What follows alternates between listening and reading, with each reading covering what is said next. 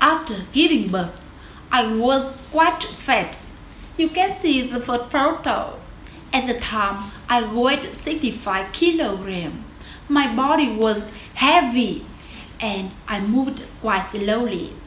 It was really hard for me to go shopping for clothes. I usually chose to buy loose t-shirts and size XXL pants. So sad. I couldn't wear pretty dresses.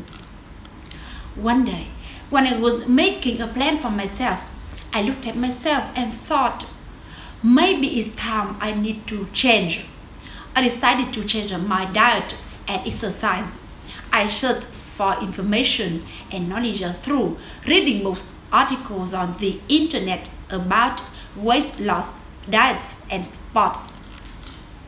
I analyzed different diets and finally chose the one that is suitable and beneficial for my health.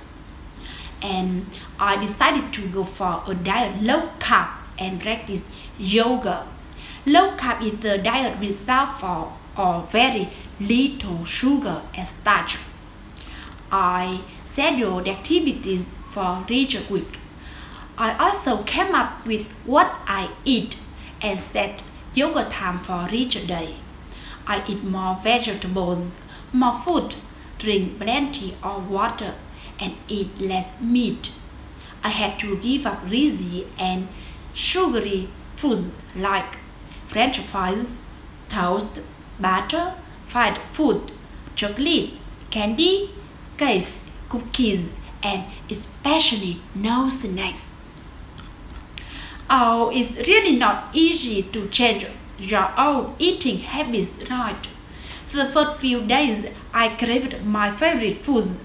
I, but in, I encouraged myself to try to overcome it.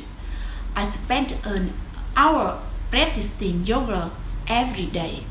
In my free time, I tried to walk more. After a month, I lost 2 kilograms. I was satisfied with the result and I continued to eat. And did you know, after six months, I lost 8 kilograms. You can see my second photo. Wow, I admire myself. My body is healthy and flexible. My spirit is also very relaxing and positive. I can wear size M clothes and can wear nice dresses. Oh, that's right. I learned one important lesson after a lost weight successfully.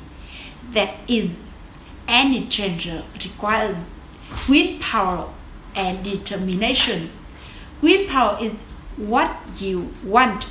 Determination is to follow your goal till the end. If you think you need to lose weight, you might want to take up my advice. Take action. Don't wait any longer because I can do it and you can do it too. Thank you for listening.